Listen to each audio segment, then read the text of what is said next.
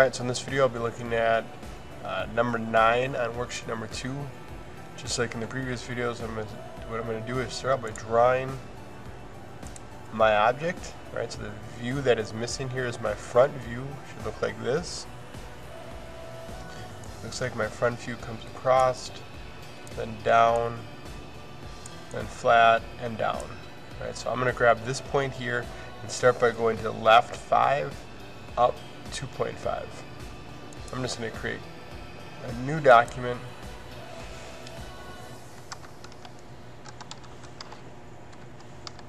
Part 9. Hit OK.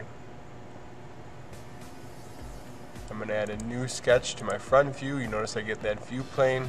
On my left hand side I can click these eyes here to turn those planes off. I'm going to click on front on my view plane and now I'm ready to begin.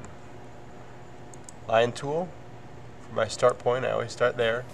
I go to the left, type in 5, hit enter. Goes up, I type in 2.5, I hit enter. I look at my part, this line here comes across 1.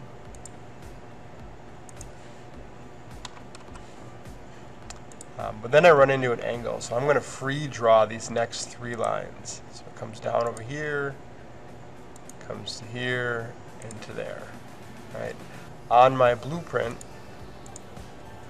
this line here is two inches. So I can click on that line, go up. That's two inches. This line here has a one and a quarter or 1.25 vertically and horizontally, right? So this height here is 1.25. This distance here is 1.25. What I'm going to do is click dimension, click this point and this point and go to the right at the 1.25. Click it again, that point, that point, but this time I'm going to go up. Right? 1.25 and hit enter. So that gives me a black bound object with all my dimensions. It's grayed out, so I'm ready to hit that green check.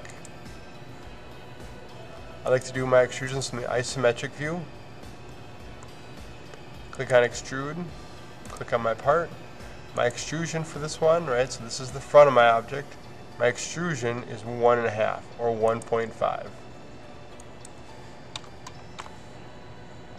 My green check, and there it is, part number nine on worksheet number two. Thank you.